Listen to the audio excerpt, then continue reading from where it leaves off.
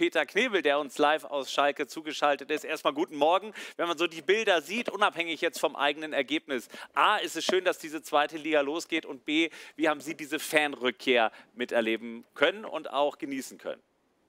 Ja, ein herzliches Glück auf aus Gelsenkirchen. Ähm, herzlichen Dank für die Einladung. Das war Gänsehaut pur, das muss ich sagen. Es äh, ist wahrscheinlich einer dieser, dieser Momente, die, die man nicht vergisst im Leben.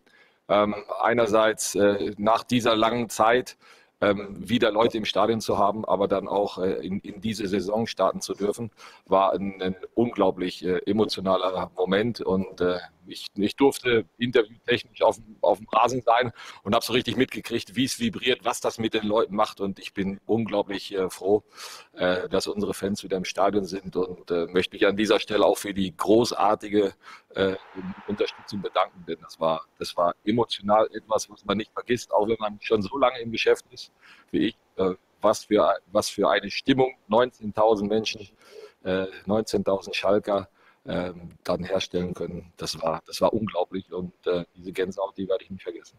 Tja, Olaf Thon war auch mit vor Ort. Ging es dir ähnlich? Ich meine, normalerweise 20.000 Zuschauer, da würde man drüber schmunzeln in früheren Jahren auf Schalke. Aber ist das tatsächlich, wenn man es eben so lange nicht hatte, ein völlig neues und ein fast schöneres Erlebnis? Ja, es war ein Kribbeln da und ähm, das war was ganz Besonderes, Gänsehaut und ähm, ganz am Anfang dann auch das Tor und äh, der Jubel, die Gesichter der Fans, alle sind mitgegangen und das hat natürlich Spaß gemacht, klar. Nun gibt es ja diesen Claim, die beste zweite Liga aller Zeiten. Die gab es schon vor einigen Jahren, aber ich glaube, jetzt, Olli, können wir ein dickes Ausrufezeichen hintermachen, allein von der Besetzung. Da sind unglaubliche, unglaubliche Mannschaften mit dabei. Allein bei diesem, bei diesem Duell äh, zwischen äh, äh Schalke und dem HSV, 108 Bundesliga-Jahre, 13 deutsche Meistertitel. Also das, das spricht schon für sich. Und wenn du all die anderen Mannschaften dazu nimmst, so ein Luxusabsteiger wie Werder Bremen und dann diese Zuschauer dazu. Gestern Abend 14.000 im Weserstadion, auch da war es unglaublich laut, unglaublich euphorisiert, auch wenn das Spiel für Werder dann nicht so gut lief. Aber du spürst einfach, dass diese Sehnsucht da ist und, und, und die haben wir jetzt auf dem Platz. Und deswegen wird das ein Riesending, diese zweite Liga. Und das wird auf jeden Fall in dieser Saison so bleiben. Und wenn ich die Schwäche von Schalke und Werder sehe, möglicherweise dann auch noch ein bisschen länger. Ja, also es ist tatsächlich äh, ja, nicht nur Schalke, Werder, der HSV, sondern viele andere große Vereine, Nürnberg, Düsseldorf, St. Pauli, Hannover. Es gibt so viele große Namen.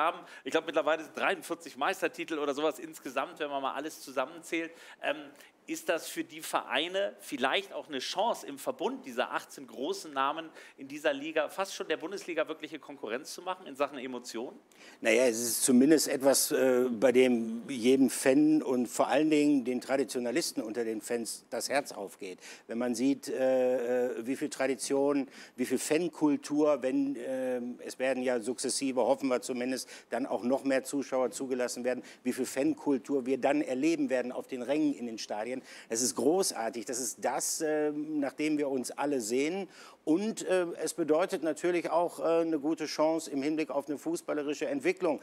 Ich war ebenfalls äh, am Freitag auf Schalke und ich muss sagen, ich war nicht nur atmosphärisch beeindruckt, ich war auch fußballerisch beeindruckt. In erster Linie natürlich vom Hamburger Sportverein, der da wirklich ein, ein, ein furioses Spiel abgeliefert hat mit extrem viel Positionswechseln. Sehr beeindruckend, hat Schalke wirklich eine harte Nuss aufgegeben. Aber auch Schalke hat nicht so schlecht gespielt. Die hatten Phasen, wo die den HSV richtig unter Druck gesetzt hatten, Torchancen hatten. Also das war tolle Unterhaltung.